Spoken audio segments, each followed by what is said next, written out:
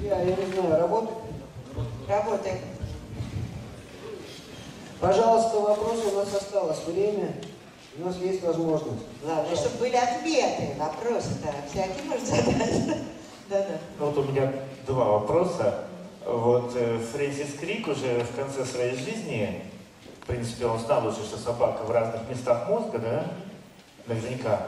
Но он все-таки, вот Рамачаган приводит этот пример, он все-таки говорил, что ему кажется, что сознание находится все-таки определено где-то. Он говорил вот про ограду, как я понимаю, какая-то часть коры. Вот прошло там уже, наверное, там лет 20, да, все-таки можно ли э, сознание связывать с какой-то, не язык, а сознание, да, связывать с какой-то областью мозга? А Я э, отвечу вот как вам. Вот это то, что мы вот с Фарином как раз пока шли, обсуждали. Самая большая, я этим сознанием занимаюсь со всех сторон в разных э, концах. Самая большая неприятность заключается в том, что никто ни с кем не может договориться на тему о том, что мы имеем в виду, когда мы говорим это слово. Что мы будем считать сознанием? Это довольно большой спектр э, разных вариантов. Сознание в смысле не сплю или не в анестезии, вариант один. Сознание в смысле не подсознание, а осознание. То есть я как бы еще оцениваю то, что я говорю. Сознание в смысле вообще я реагирую на внешний мир. И тогда некоторые люди, не буду даже их называть, они считают, что любая живая клетка обладает зачатками сознания. Понимаете, очень большой спектр. Поэтому, э, если кратко отвечать на вопрос ваш, то нет, никакого места нету, никто не нашел, и думаю, никогда не найдет до тех пор, пока мы не договоримся. Вот еще туда один вопрос, вот уже как лингвисту, опять же сошлюсь на авторитета, Фридрих Гитлер, такой исследователь медиа, как-то обратил внимание, что вот когда появились медиа, кино, то люди, которые испытали какую-то опасность, но вот выжили, да, они стали говорить, что вот передо мной пронеслась моя жизнь. То есть фактически вот эта вот метафора кинематографа, она стала такой вот рабочей метафорой. То есть изменилось, а кино имеет ведь свой язык и, и довольно сложный там, да, там есть то, чего нет. Что, еще конечно. Там есть монтаж, есть Да, да, да, бы, да.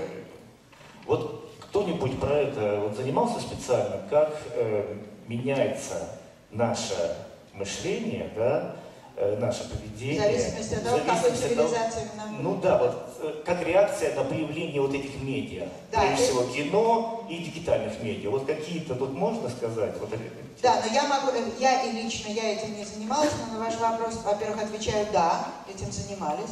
И второе, что я хочу сказать, что э, даже не знаю, как это описать. Огром- Я, может быть, с другого боку бы сказала. Культурное влияние на ментальность огромно. Пон- Понимая под культурой вообще типы цивилизации. Скажем, человек, который имеет дело с иероглифической письменностью, это не человек, который имеет дело только с алфавитом, когда мы штучка плюс штучка, когда мы этот бисер весь укладываем. И эм, известно, что поскольку люди стали меньше читать, э, ну мы не берем отдельных людей, но в целом, и э, зрительные образы в нашей цивилизации современной занимают несопоставимо большее место, чем раньше занимали. Все в картинках, в схемах, то есть как бы минуя текст. Клипы, недаром же пишут о клиповом сознании, клипированном сознании. Гипертексты, которые люди читают, очень влияют. Гипертекст, понимаете что, да? Когда вы залезаете, когда эти ссылки идут во все стороны, когда ты не можешь дочитать текст до конца, тебя цепляет. А вот теперь я посмотрю, что это слово значит, а теперь что это? То есть ты все время выползаешь из этого, текста. Э, И это точно влияет на э, ментальность, и это и на... Я даже, ну, я не могу твердо сказать, потому что я этим не занималась, но была, не удивилась бы, если бы это была другая картинка мозговая на brain imaging исследовании. Не удивилась бы совсем. Вот я, э, например, вот, ну, это правда, немножко другое, но э, меня интересовало, что происходит э, в мозгах у человека, который занимается синхронным переводом. И все мо- мои прогнозы, все оказались неправильными. Ну, мы знаем, что это левое полушарие занимается мозгами. Это сверхлингвистическая деятельность, очень трудная, стрессорная. Хуже работы нет. Я один раз в жизни переводила сенсорно, ни за какие деньги. Вот. И э, я думала, ну вот тут-то как раз все эти речевые зоны должны быть. А вовсе наоборот. Оказалось, что это правое полушарие, которое кричит, как раньше считали, вообще отношения не имеет, ну, это не так, конечно, но раньше считалось так, горит мозг огнем. Не только это, а э, возвращаясь к вопросу осознания, я потом уже маниакально стала спрашивать каждого синхронного переводчика, на которого я натыкалась. Про что вы сейчас переводили? Безотказный ответ, не помню, не знаю. Они практически находятся в трансе. Они даже не знают, про что они говорят. А теперь объясните мне, он переводит судебный процесс, то есть невероятная ответственность, да? И, и он смутно помнит, что происходило. Да что-то было, ой, устал, не могу там. И весь мозг горит, и неречевые зоны горят. Что это такое? Они, э, а даже если к ним пристать уже как следует и сказать, вы что хотите сказать, что вы находились почти в бессознательном состоянии, говорит, да, пожалуй, вы правы, так и было. Мне одна переводчица даже сказала, ой, для вас, для вас история. Э, она приводила три языка сразу, и три, э, ни один из них не был родным. Что, кстати, нарушение международных правил один из языков должен быть родной. Она говорит, я физически чувствовала, как у меня перекатываются языки эти. Я, я говорю, перекатывались, да. А про что перевод был? Ой, надо подумать. Ну как это может быть? То есть я не понимаю этого. Ну, в общем, вот так. И, конечно, разница будет. Она, скажем, переводит там с близких, с близких э, в лингвистическом смысле э, языков, я не знаю, с немецкого на английский, или это какой-нибудь там телку на финский. Я уверена, что будет другая картина. Потому что другой, другой тип языка. Соответственно, другие операции в других местах. В общем, это жуткое дело. Большое спасибо, во-первых, за интересную лекцию. У меня вопрос к педиатру. Сейчас очень популярны вот эти семьи, которые, например, русские, уезжают с маленькими детьми за границу. И человек находится в двойной культуре. То есть ребенок дома на русском, а на ну, учебе, в садике, в школе английский язык. Насколько это полезно, как развиваются такие дети, если были такие исследования, и возможно ли думать сразу на двух языках? Потому что на вопрос, на каком языке ты думаешь, они обычно зависают и ничего не отвечают. Возможно, и двойная кодировка образа в мозгу одновременно, то есть на русском и на английском. То есть что вот с этой проблемой? Да. Как? Полезно это не очень? очень спасибо, очень интересный, хороший вопрос, совершенно достойный отдельной э, лекции большой. Существует миф, один из многих мифов, что большинство людей, населяющих нашу планету, монолингвы, то есть говорят на одном языке. Ровно наоборот. Количество людей, которые э, э, пользуются одним языком, меньшинство. Большинство людей Земли либо билингвы, либо даже полилингвы. Поэтому на вопрос, не вредно ли, отвечаю, разумеется, не вредно. На вопрос, можно ли одновременно, э, зависит от типа билингвизма. Их много типов, я просто не хочу, ну нет возможности сейчас говорить. Это зависит от того, где учил, когда учил, родился ли в этой среде. Скажем, мама англичанка, там, папа китаец, и одновременно с первого дня он стал это учить, тогда у него эти два языка равноправные. Или он э, жил в одной стране, а потом переехал в другую и нагоняет, и нагоняет только в университете. Это все разные вещи. Кстати, очень интересная тема, что происходит с людьми после поражения мозга речевых зон у людей не монолингвов. Это вообще детективная история. Например, один из случаев, я знаю, когда у человека вышибло все, значит, э, первый родной язык забыл, вот главный язык вообще нету э, не помню какой, французский, кажется, был, значит, по-английски мог говорить только про деньги, по-французски мог говорить только про любовь, по-немецки не мог говорить ничего и не понимал, но, самое красивое я под конец приберегла, случайно попался текст, написанный готическим шрифтом, и его он читал. То есть, представляете, что мозг вытворяет? Он ориентирован на шрифт. Он ничего не, не понимал, не, не слушал, не говорил, а готический шрифт, пожалуйста, поехал. То есть очень мы не ждем там э, простых э, сюжетов. И это опять-таки зависит от того, какой язык как себя поведет в случае вот нарушений, зависит от того, в каком э, возрасте был какой язык, какова была их очередность, что за тип языка, какая письменность у этого языка, в каком месте мозга это случилось. Это, там много участвует факторов. Но это меня даже задали вот какой вопрос. Дама из Германии задала, значит, у нее внук там был вот Белин, и он стра э, страшно заикался. И она спросила меня, какого логопеда нужно взять, русскоязычного или немецкоязычного. Я задала ей следующий вопрос. Где будет жить этот ребенок вообще? То есть они приехали в Германию там, на побывку, что называется, там, на пару лет, или они переехали туда, и он там будет жить всегда? Это существенный вопрос. Она сказала всегда. Я сказала тогда немецкого немецкоязычного логопеда. Она говорит, мы не хотим терять русский. Я говорю, отлично понимаю, но у вас выбор.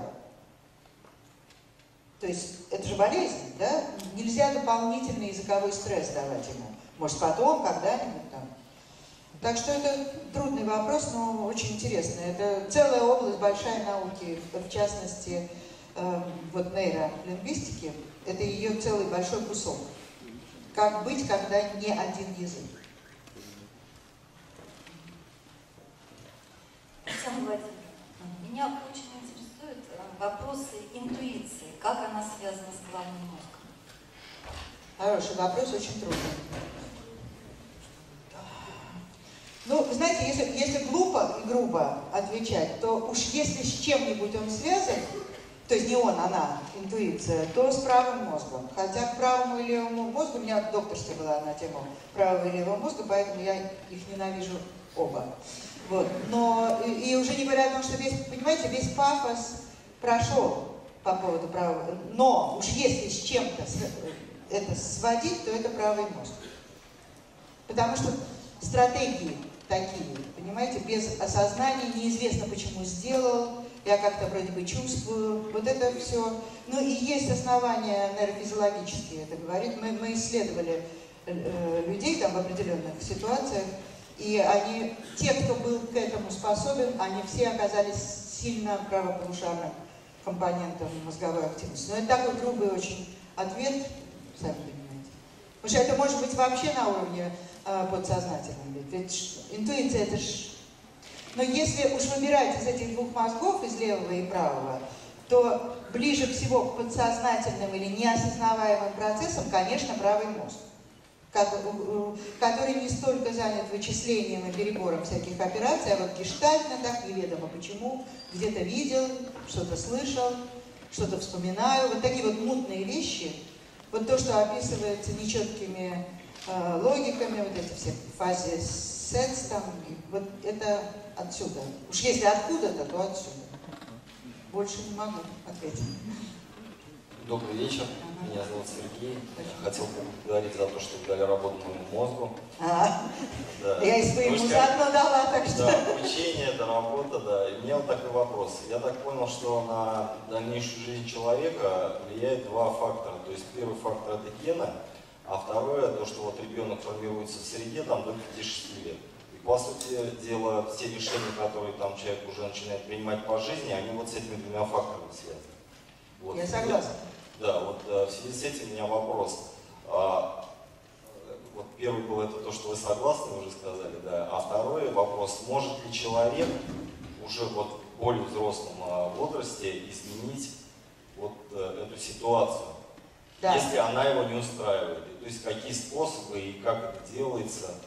Да. Вот такой мой Отвечаю, во-первых, да, а во-вторых, привожу конкретный пример. У меня есть коллега и приятель американский, который специалист по памяти.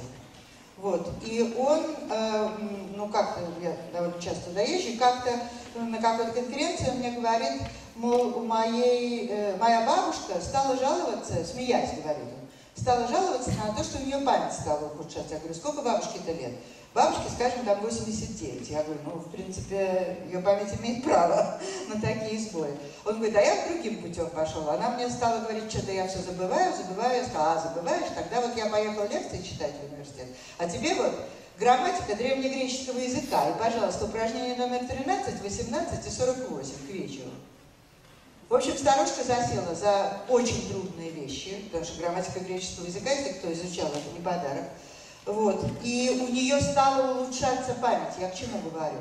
То есть я бы ответила так. Если раньше общим местом было, что э, пластичность мозга – это дело раннего возраста, вот не знаю, парень согласится или не согласится, да, что это, то есть понятно, что пластичность у маленьких детей несопоставима с тем, что будет у взрослых. Но если раньше считали, что все, ловушка захлопнулась, так сказать, все, больше ничего, то сейчас так не говорят. Доказано уже, кстати, э, э, Крейг, между прочим, это, по-моему, тоже делал, они, э, что э, люди в очень пожилом возрасте, там 80 с лишним, что они могут, что какие-то эти самые пластические возможности остаются.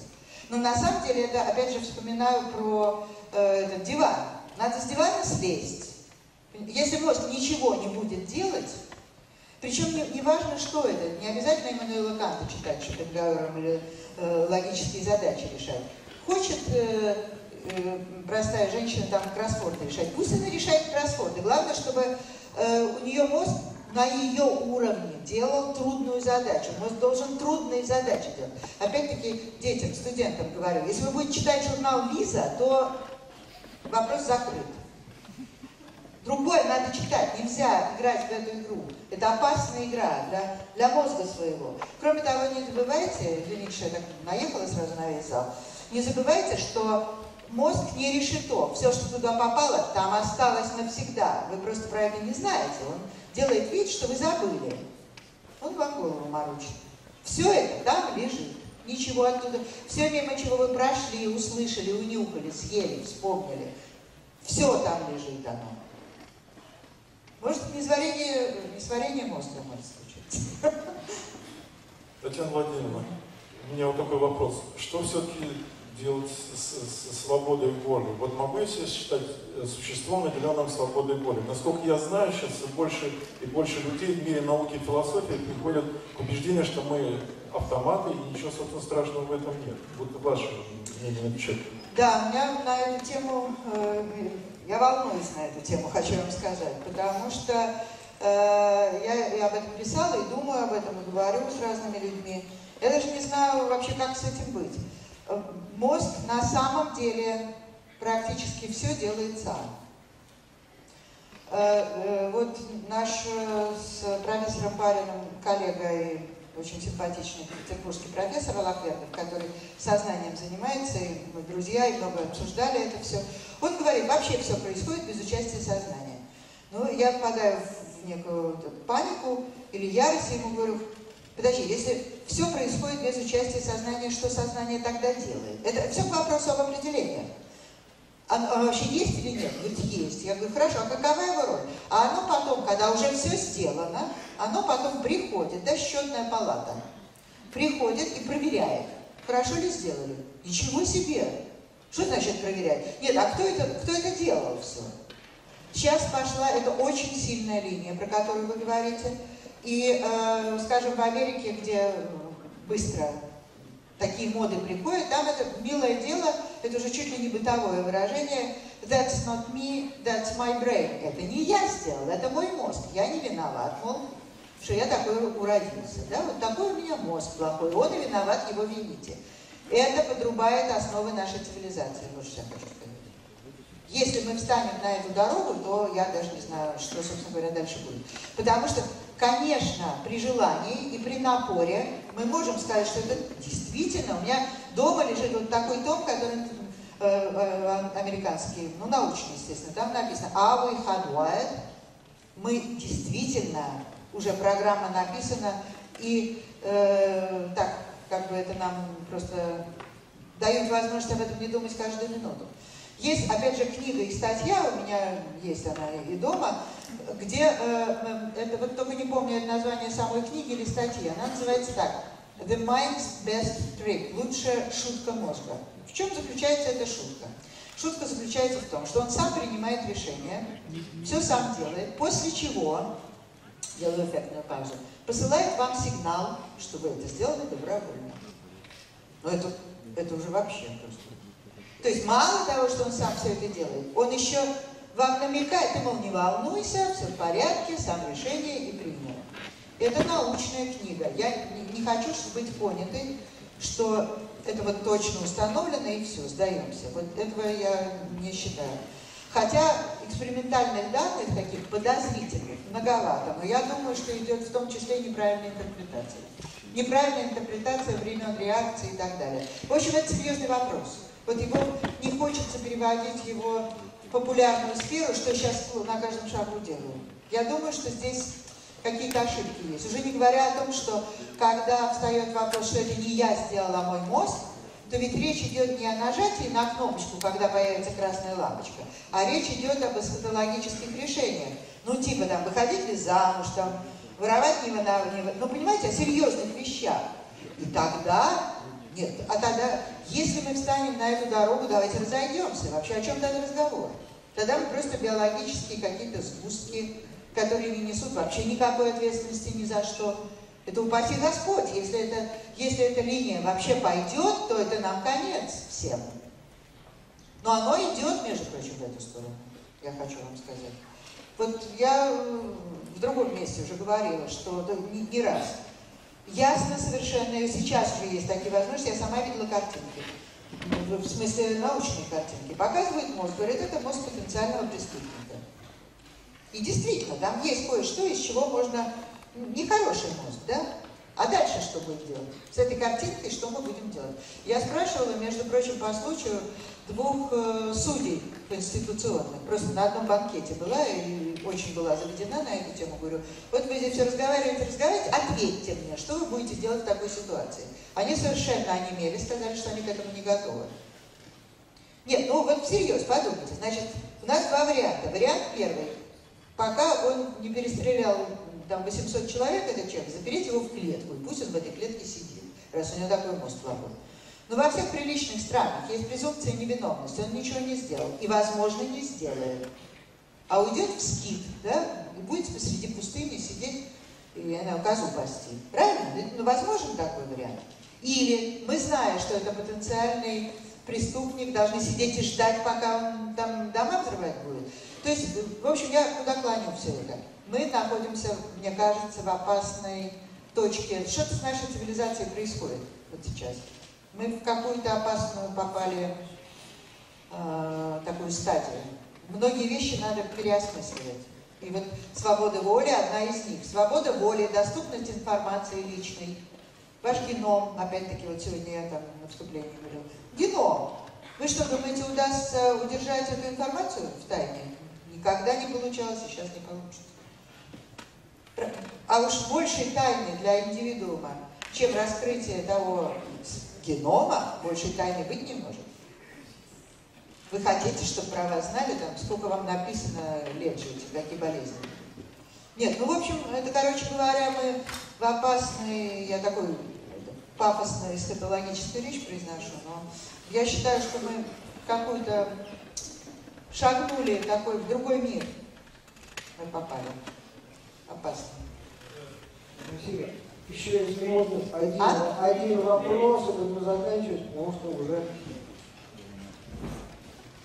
Я Владимир, у меня к вам тысяча и один вопрос. Но, ну, у меня у самой к себе.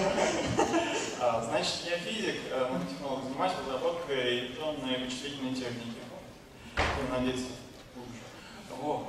А, значит, э, вопрос э, я смог сжать ну, как бы на две части. Вопрос первый. А, связано с а, старением а, мозга.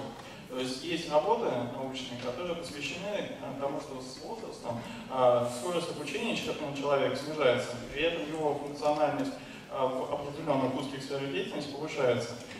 Можно ли этот процесс связать с увеличением, э, уменьшением, точнее, количества зеркальных нейронов в головном мозге? Значит, э, на биологическом уровне. То есть я могу более как бы сфокусировать вопрос. То есть зеркальный нейрон с точки зрения физики представляет собой некую логическую единицу, которая способна подстраиваться под конкретную задачу. И к концу жизни, соответственно, э, исходя с возможно эволюционных неких процессов, э, формирование более сложных сетей оказывается бессмысленным. И необходимо просто использовать одну более эффективную. Вот. Правильная ли логика или она ошибочная? Логика, на, на мой вкус, я за Вселенную не отвечаю, на мой вкус правильная, но для того, чтобы ответить, действительно ли уменьшается количество зеркальных там, нейронов или зеркальных систем или этих кусков мозга, для этого э, мы не можем это на разговорном уровне решать. Это, это то, что я могу поискать специально, но я никогда не наталкивалась на такие работы. Я, они возможны.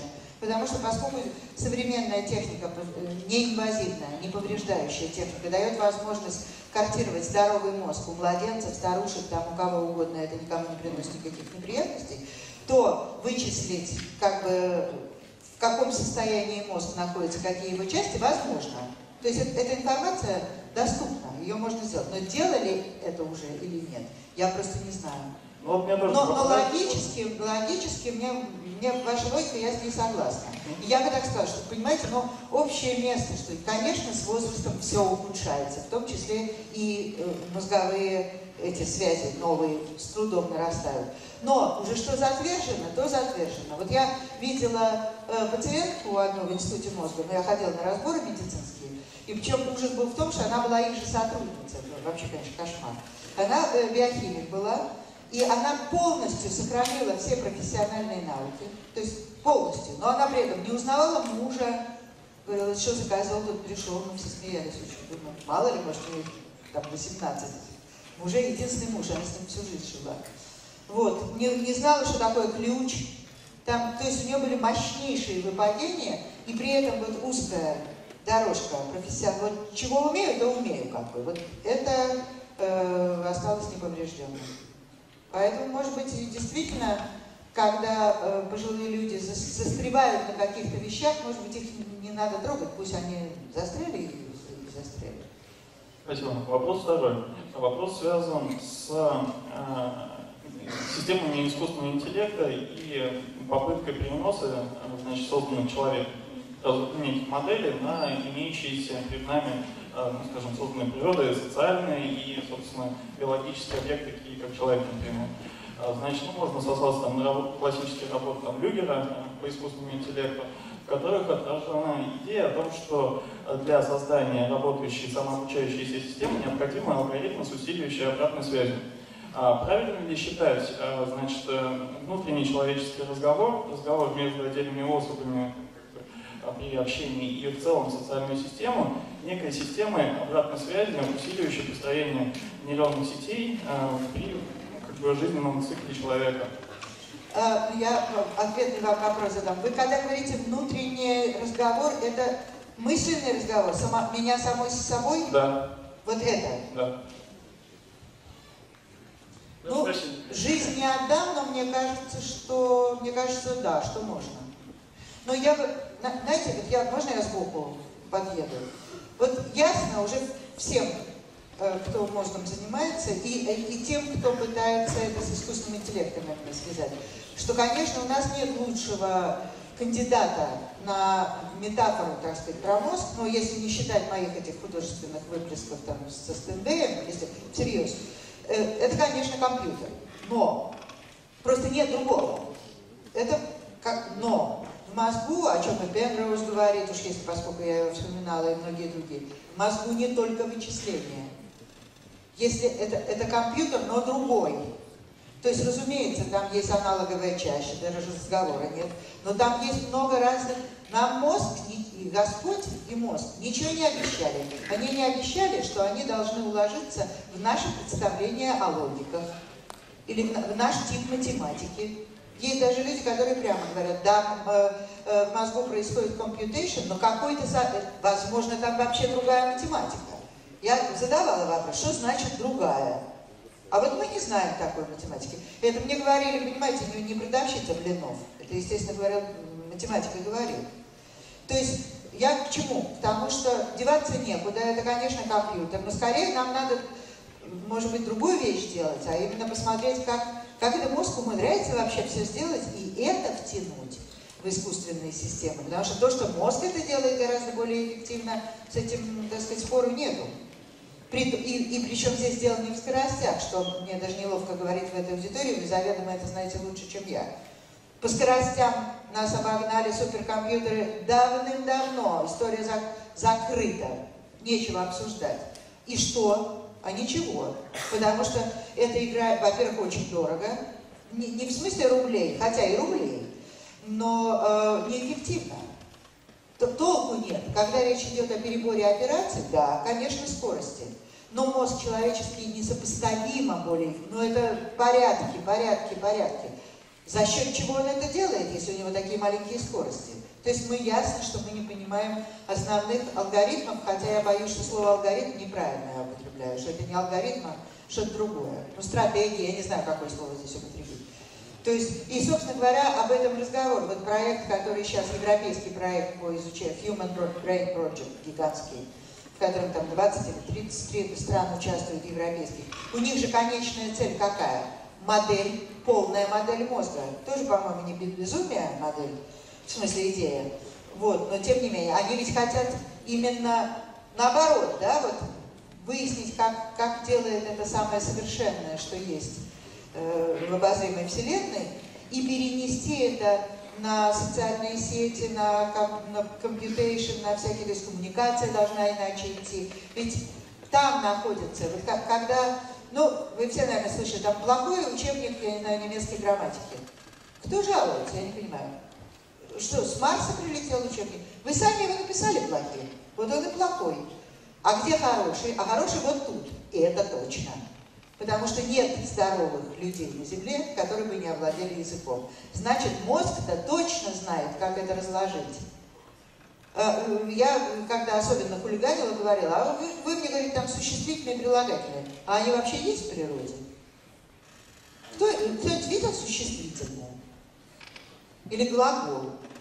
Это же выдумки лингвистов. В мозгу есть существительные и глаголы? Вот это правильный вопрос поставлен.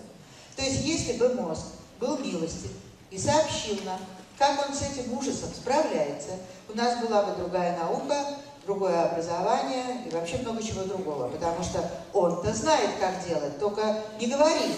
Вот все наши усилия, всех наших наук, в том вот таких наук, про которые я сегодня рассказываю, они направлены на то, чтобы подглядеть, как он-то это делает.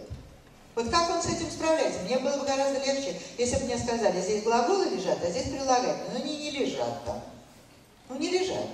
А лежат, как я вам про эту собаку вот показала, и там тысячи примеров таких можно привести. Сколько угодно. Кстати, билингвах, э, э, канадские группы, которые занимаются, по-моему, это Крейн как раз и есть, Э, люди очень пожилого возраста, которые говорят больше, чем на, чем на одном языке, э, отодвигают своего потенциально возможного генетического Альцгеймера на годы, на годы, это может быть 4-5 лет.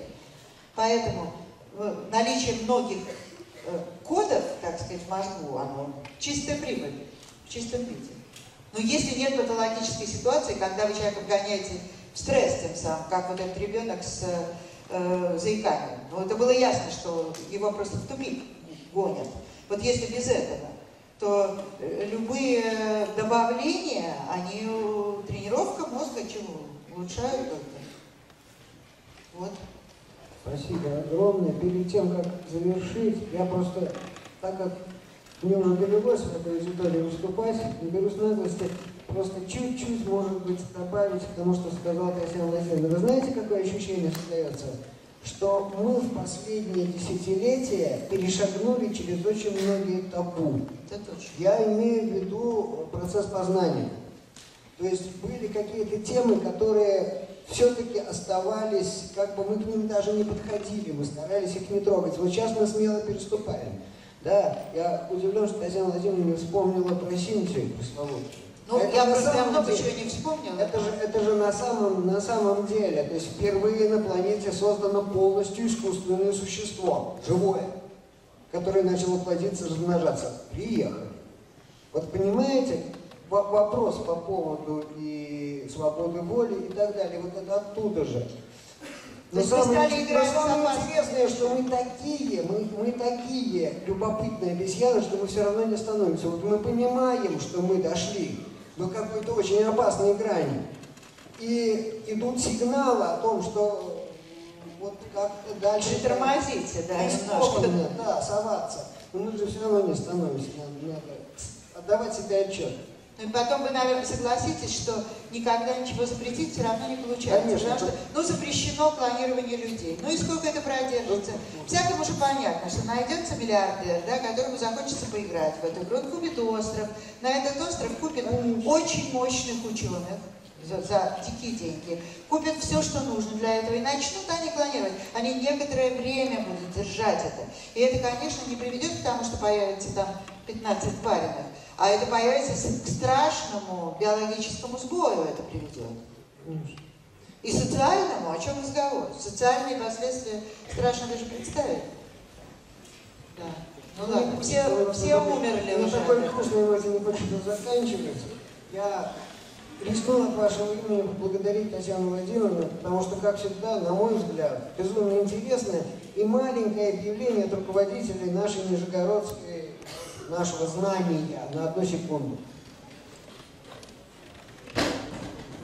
Да, спасибо. Я рассчитывал, что Сергей Борисович сам скажет. Но, в общем, завтра, обращаю внимание всех собравшихся, действительно тема очень интересная и, по сути, по обилию вопросов, интересная всем. Так вот, завтра в 17.00 э, в так называемом Белом зале нашей Нижегородской областной библиотеки, все ее знают, на Варварке, да? Варварке 4. Вот, будет лекция э, Фактически, ну, на близкую тему. Сергей Александрович Шумский, это сотрудник э, физического института Академии наук, город Москва. Уже одно это подсказывает то, что действительно это супер междисциплинарная область, когнитивистика современная. Вот. Вот завтра будет лекция, которая называется «Как устроен человеческий мозг». Конечно, название претенциозное. Как вы поняли сегодня, никто не знает, как он устроен. И в ближайшее И- время и, не в ближайшее время и не узнает, но тем не менее лекция на эту тему, и на самом деле Сергей, поскольку является специалистом по искусственному интеллекту, он, скорее всего, будет все-таки рассказывать больше про некие алгоритмы, как мне кажется. То есть я думаю, студентам при, при техническом университете это должно быть крайне интересно. Ну, от своего имени я тоже благодарю Татьяну Владимировну. Блестящая лекция. Я просто получил редкостное удовольствие на то, что мой мозг подрос за эти два часа. Я благодарю. Спасибо. Очень приятно было. Мой мозг тоже подрос. Татьяна Владимировна, мы выиграли все. Приезжайте нам еще. Спасибо. Те, кто преподают, они знают, что предстоящий начинаешь понимать, что когда начинаешь, да, читать до лекцию. этого...